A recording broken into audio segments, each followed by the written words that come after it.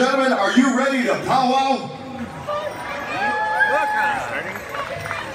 I said, are you ready to powwow? Oh, yes, indeed. If you are able to, please rise, remove your headgear. We are going to go with our final grand entry here this afternoon at the 53rd Annual Menominee Nation Contest Powwow, Northern Cree.